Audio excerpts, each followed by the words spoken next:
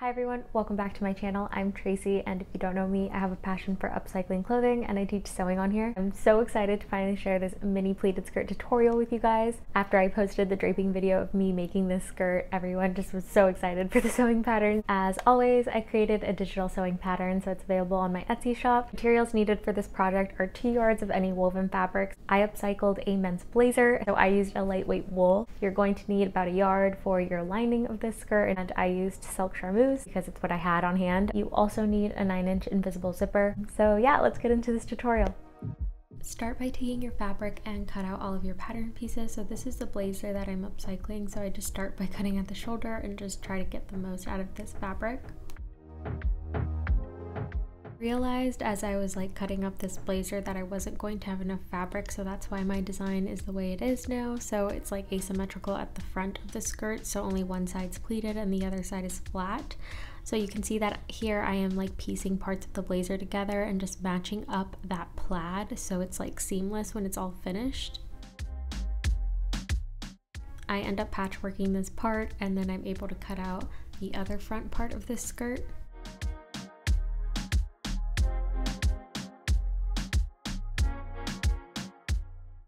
also went ahead and repatched the sleeve together just so the plaid was going to match up again. I'm just very conscious of the pattern and making sure it's lined up. The front and the back waistband are cut on the bias, so I just had to make sure I had enough fabric to do that, and I just had enough.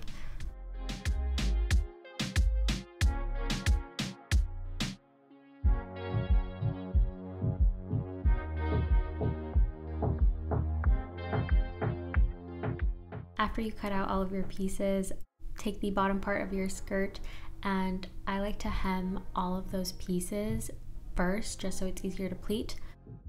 Take it to my overlock machine and do a rolled hem on this and it comes out really nice. You can see that the thread just kind of like encases the entire raw edge, creating a really nice finished look. I know not everyone has this, so if you just have a regular sewing machine, it's okay. Just add a half inch seam allowance to your hemline so you're able to do a baby hem. And now to actually pleat our skirt, you need to take your front tier that's pleated and first start by marking a half inch seam allowance. This is going to be sewn at the side seam, so just mark that. And then from that line, you're going to mark 5 eighths of an inch away. That is our pleat width and then our pleat pickup will be a half inch. So from the 5 eighths line, mark a half inch, and then you're gonna mark from the half inch line, mark 5 eighths of an inch away for your next pleat, and then a half inch again for your pleat pickup, and just keep repeating this. So there's a lot going on with the plaid fabric, so let me try to show you on paper instead, it'll make more sense. So you're first marking your half inch seam allowance, and from that point, you're gonna mark 5 eighths of an inch away from that. That is your pleat width. From the 5 eighths mark, you're gonna mark a half inch. And you can see from that line to that line, we're going to actually fold our fabric. So from that half inch mark, you're folding to the other side. You can see that only the 5 eighths pleat width is exposed. So when we fold, we're encasing that half inch pleat depth and you're just going to continue to do this until you reach the other side of your skirt.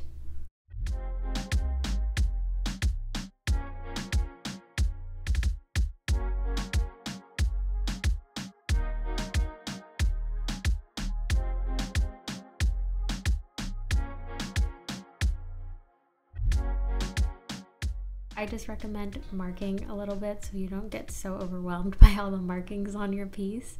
Just start pleating like three pleats or four at a time.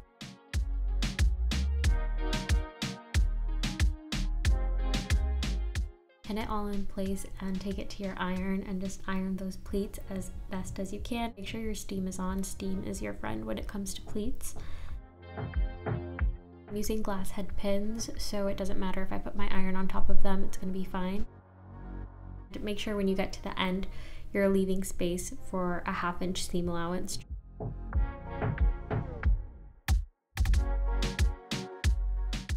Take pattern piece three, which is the unpleated one, and place pattern piece four on top, which is the pleated one. And just pin those two together at the top.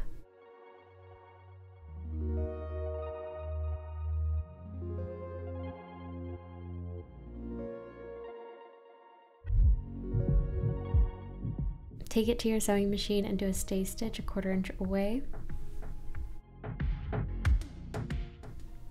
And patience is your friend when you're sewing this together. Sew as close as you can to the next pin and then pause and take it out and then keep sewing. You just want to make sure that your pleats are sewn down perfectly and nothing gets caught. So just take this very slow.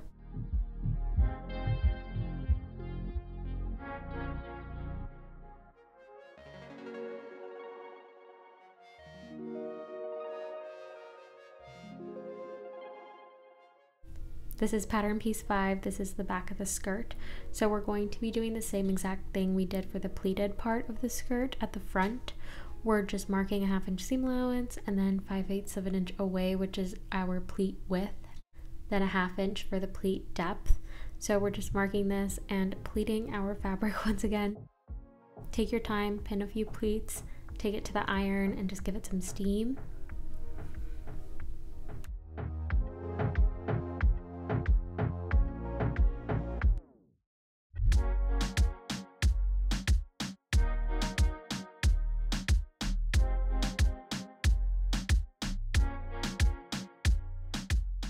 Can go ahead and just remove the pins everywhere except the top of the pleats. Take it to the sewing machine and do a quarter inch stay stitch, ensuring that once again those pleats stay in place.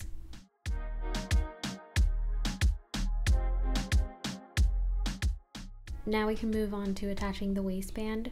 Take your back waistband and the back of the bottom skirt and mark the center of that pin right sides together. Pin it along that seam and take it to your sewing machine and sew a half inch seam allowance. We're going to repeat the same exact steps to the front of the skirt, placing right sides together and pin along that seam.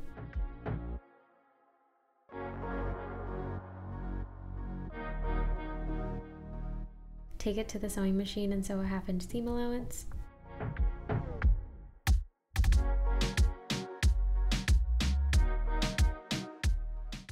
After attaching the waistband, I like to overlock my seam allowance. After you overlock that seam allowance, push it up and overlock the sides.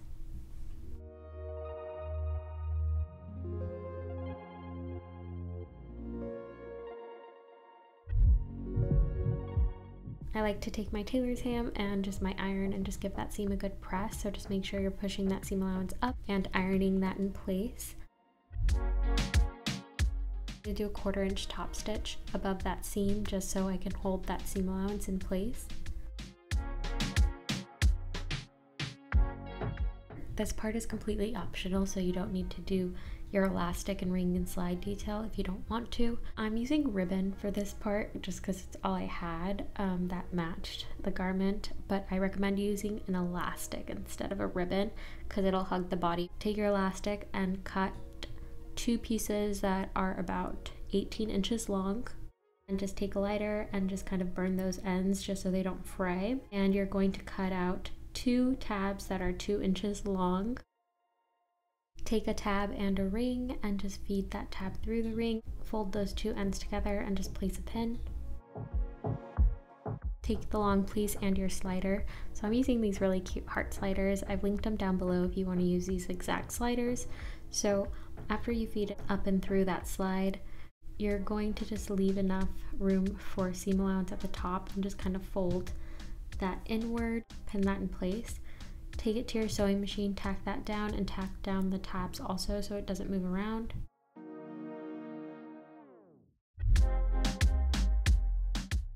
Once that is tacked down in place, see you are going to make it adjustable. So now have your elastic with that seam allowance facing up on the slide and then just feed that ring through it. And now you can just like feed the other end up and down that slide And when you pull it, you can see now we have a strap that is adjustable and it's ready to be sewn into our garment. Feel free to place these anywhere you want. On the pattern, I've marked where I placed mine, so this is also up to you. You can definitely add more of these if you want, or you could just do one. You get to the sewing machine and just follow the edge of your presser foot and just tack those in place.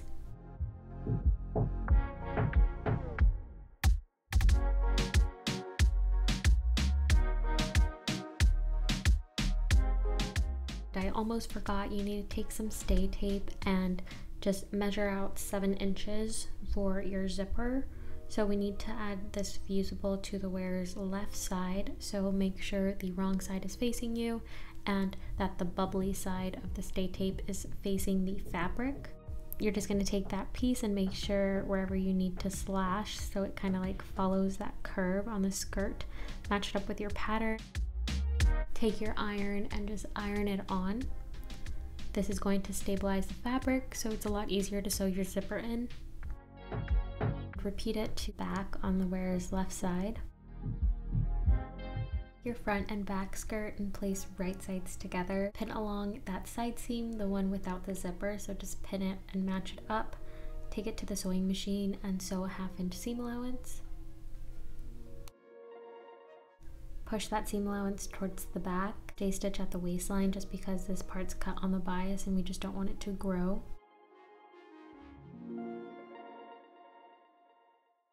And I went ahead and just overlocked that. And with right side still facing together, you can pin along the other side seam, but only from the bottom of the stay tape to the bottom of the hem. So pin along that and just take it to your sewing machine and sew a half inch seam allowance. So you want to just back tack when you get to that stay tape and then go all the way down and back tack at the hem.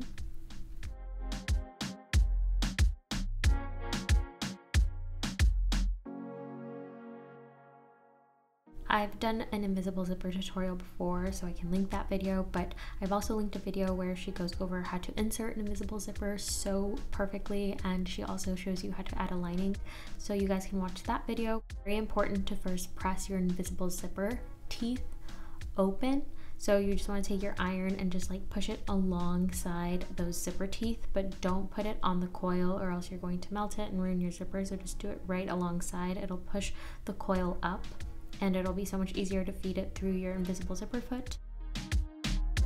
Another trick I like to do when I'm installing an invisible zipper is to just hand baste it in place after I pin it in place just because I don't like sewing an invisible zipper when I have pins in the way because I just feel like it messes me up personally so it makes it so much easier if I just have it basted first and then I'm able to just like zip it up and just make sure everything matches up. If you don't already own an invisible zipper foot, I recommend investing in one. The coil just glides perfectly inside that foot. The machine just stitches as close as humanly possible. It makes your invisible zipper look flawless. I only did a half lining, but if your seams are not finished on the inside, I do recommend doing a full lining. So all you would do is take a ruler and extend your lines at the side seam and then from the waist just measure out your length. Then everything will just be on the inside and you won't even see those raw edges. I decided to place some more stay tape along the waist and the wearer's left side just so everything is stabilized, especially since I'm using a silk for the lining. I place right sides together and pin along the side without the zipper, take it to the sewing machine and sew a half inch seam allowance. Then I go ahead and just overlock all the way around this piece.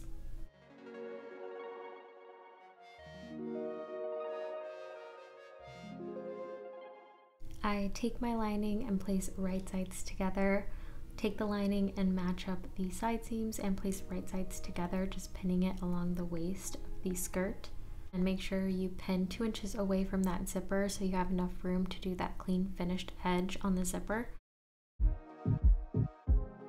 Take it to the sewing machine and sew a half inch seam allowance. Make sure you start and stop two inches away from that zipper opening.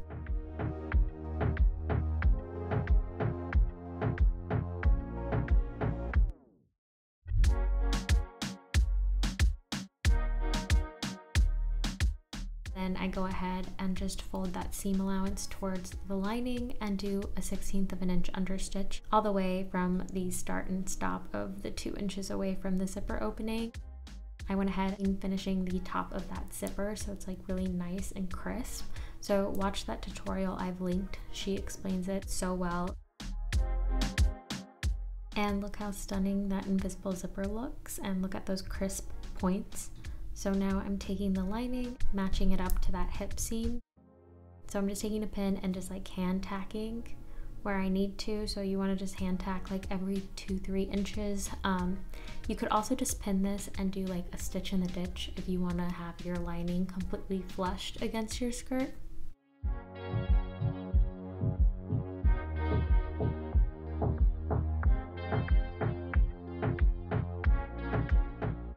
And your skirt is complete.